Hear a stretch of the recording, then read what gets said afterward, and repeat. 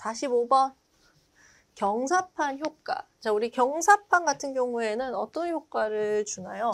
자, 우리가 침전지가 있으면 침전지에서의 제거율이라는 거는 이 표면 부하율에 따라서 결정이 되죠. 그래서 우리 제거율은 표면 부하율분의 네, 침강 속도인데요. 이 표면 부하율이 작을수록 그래서 침전율이 더 높아져요. 표면 부하율이 작으려고 하니까 수면적이 크면 되죠. 그래서 면적을 높이면은요. 표면 부하율이 줄어들어서 결국에는 침전 효율이 좋아지는 거예요. 그러면 이 면적을 높이는 게 이 면적을 높이려면 더 넓은 면적을 쓸 수도 있지만 그냥 이 상태에서 면적을 높이기 위해서 우리가 경사판을 설치하는 거죠. 그러니까 여러분 태양광 같은 거 그런 것처럼 쫙 이렇게 경사진 판을 다 붙여놓는 거예요. 그럼 그만큼 뭐가 늘어나요? 면적, 수면적이 늘어나겠죠. 그죠? 자, 그러면은 면적이 늘어나면은 보세요. 실제 우리 수면적 이 지금 면적 계산한 것보다 실제로는 어때요?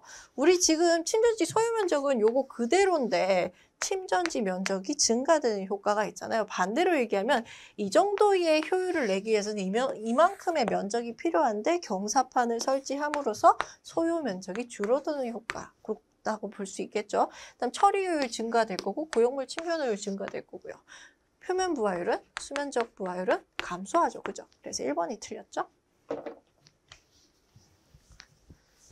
자, 요 45번 문제 같은 경우는 우리 19년 2회에 출제가 됐었습니다. 46번 볼게요.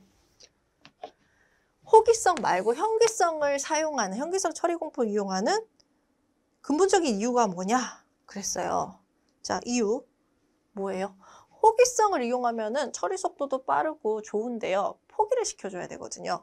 그리고 호기성을 이용을 하게 되면 디오가 어느 정도 유지가 돼야 돼요. 근데 너무 고농도의 유기물이라면 이 디오가 제대로 유지가 안 되거든요. 그럼 뭘 해줘야 돼요? 희석을 시켜줘야 돼요. 여러분 이만한 거 희석시켜주면은 물, 뭐 예를 들어서 한 다섯 배만 넣었다고 했습니다. 이 정도로 부피가 커져야 돼요. 그러니까 어떻게 돼요? 반응 좀 커져야 되겠죠. 게다가 뽑기시키는 게 엄청 오래 걸리겠죠. 그죠? 엄청 또 비용이 많이 들 거고. 결국에는 포기시키는데 비용이 너무 많이 들기 때문에 차라리 디오가 없어도 되는 현기성을 조금 느리긴 하지만 조금 지저분하긴 하지만 쓰는 거죠. 그죠? 그래서 비용 때문이에요. 그래서 정답이 3번입니다. 47번 문제, 이것도 여러분 꼭 알아야 되는 문제죠. 우리 크롬 같은 경우에는 수산화물 침전법, 그럼 어떻게 해요? 육각크롬, 독성이 작은 육, 삼각크롬으로 먼저 환원을 시켜줘요. 그때 pH 2에서 3. 그리고 나서 얘를 수산화물로 침전 제거해 주죠. 침전되는 pH 8에서 9. 요거 기억하셔야 됩니다. 자, 그럼 침전을 위한 적정 pH 8에서 9니까 정답이 3번이 되겠네요. 자, 그 참고로 우리 6가크롬을 환원시킬 때 환원제로 쓰는 거 요것도 여러분 좀 같이 정리해 주세요. 우리 요거는 실기에 나올 수 있어요. FeSO4 그다음에 NaCO3, NaHCO3 이런 애들을 우리 환원제로 주로 사용을 합니다. 48번 side stream. 이게 side stream이 뭐냐면 우리 main stream이 있고 side stream이 있어요. main stream이라는 거는 그러니까 한마디로 주, 메인이 되는 이렇게 메인 공정을 얘기를 하는 거고 요 옆에서 이렇게 갔다가 다시 돌아가는 거 이게 바로 side stream이에요. 그래서 얘가 메인 흐름이면 옆으로 한번 빠졌다가 나가는 게 side stream. 자 그러면 side stream을 적용을 해서 생물학적, 화학적 방법으로 인을 제거하는 건데요. 이게 뭐예요? 우리 여기 main stream에 혐기조와 호기조를 두고 이게 main stream이죠.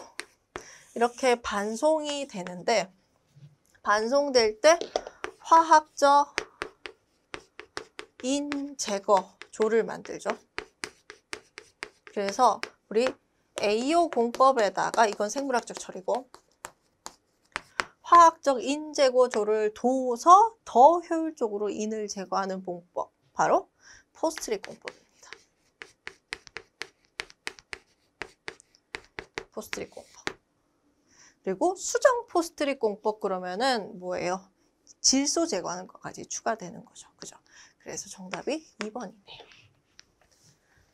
49번 자, 이온교환막 전기투석법에 관한 설명 중 옳지 않은 것은 자, 이온교환막 전기투석법은요. 전기투석을 이용해서 한마디로 이온을 제거하는 거예요. 이온이라고 하면은 무기물질이거든요. 그죠? 그래서 칼슘, 마그네슘 같은 이온들 이온 맞죠? 이런 경도 물질 제거를 할 수 있고요.